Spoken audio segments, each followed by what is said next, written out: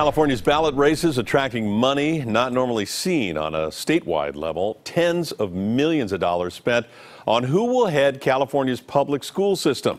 KPIX 5's Wilson Walker on what's behind the big money. Future. Tony Thurmond for state superintendent. I'm Marshall Tuck. I'm running for state superintendent. They are your two candidates for state superintendent of public instruction, Tony Thurmond, an East Bay social worker turned state assemblyman, and Marshall Tuck, who left the world of finance for school administration.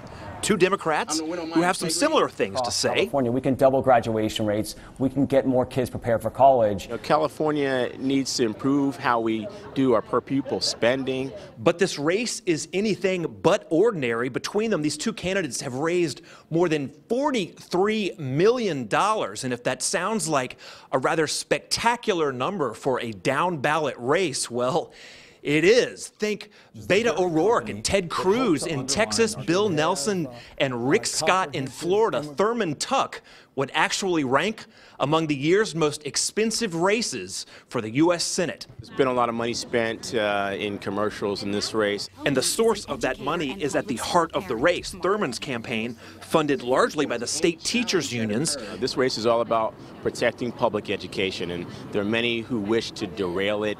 Marshall Tuck, funded in large part by pro charter school PAC money from outside California. And, and certainly some of supporters of mine uh, do believe that public charter schools have a role to play in public education. So, what should voters make of an ordinarily quiet superintendent race running up a $43 million price tag? To me, what that says is that we need publicly financed campaigns. We need campaign reform. Well, I think it tells you that California is starting to finally focus on our public schools. In San Francisco, Wilson Walker, KPIX 5.